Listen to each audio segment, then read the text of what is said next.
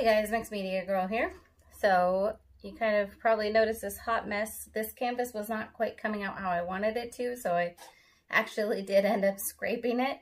It's a 10 by 10 um, gallery wrapped canvas, and I'm going to start over. um, so I'm using some black Artist Loft Flow acrylics. Everything's mixed with Floetrol and water, and I am going to do this as an open cup pour again. I used a little less black, so hopefully it doesn't move as much as before. But here we go. I'm just going to be layering the colors in here. And I'll say the colors as I go. This is Arteza Gold. Um, then I have Arteza Metallic Blue.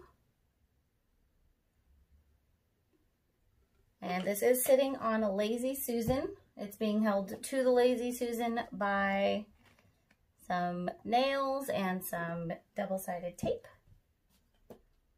And this one is a glow-in-the-dark pink. Use more white. So it's starting to move. And people asked me before, how did you get those cells? Well, the cells are, the colors are basically being pushed underneath that black paint for now. I'm gonna try Nope, it just wants to move. And um, so that's what helps create those cells. Also the fact that it's metallic paint really does help. Put some more black around here. Okay, I'm gonna add a little more color and then we're gonna go ahead and spin it out.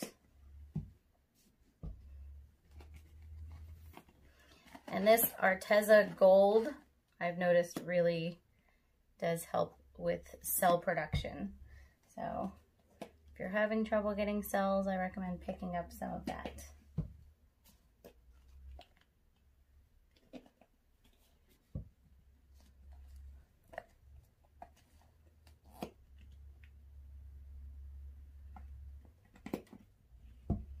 All right, so you can see it's kind of coming out as it is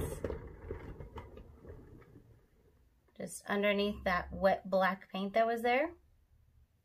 I'm going to actually drag this around instead of pulling it up straight like I did before. Look at all those really cool cells coming up. All right, now we're going to go ahead and spin.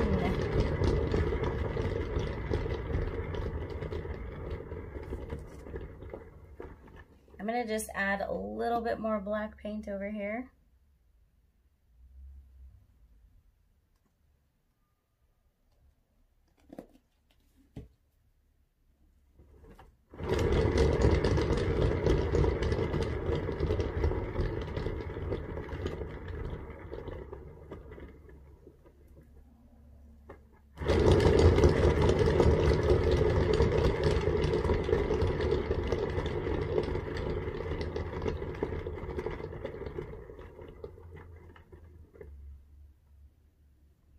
I very happy with that. I'm not going to overspin this. We are going to leave it.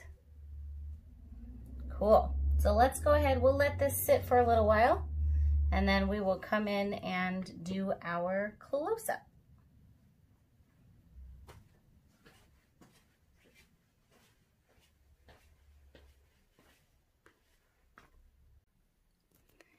All right, so we definitely got some changes. Some cells popped up. This piece is so fun. I love the contrast of the black with the really bright colors. And there's just a lot of fun parts to this one. Really cool cells in the middle there.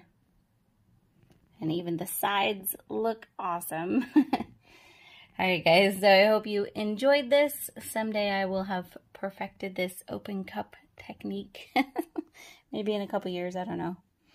Um, don't forget to check down in the description for all of the materials, and I will see you all next time. So I know I don't often show you guys paintings dry, but I thought this time I would because I can. I usually just paint and then post the video pretty much right away. Um, this time I didn't do that. So this is what it looks like completely dry. It has not been sealed yet You can see those gorgeous metallics. So once it's sealed, it'll definitely be a lot more vibrant. But I just really love how this came out. These cells are so pretty in the middle here. Um, and I'm actually thinking of sealing this with resin. So let me know down in the comments what you guys think, if you think I should seal it with resin or not. And I hope you enjoyed this. I'll see you later.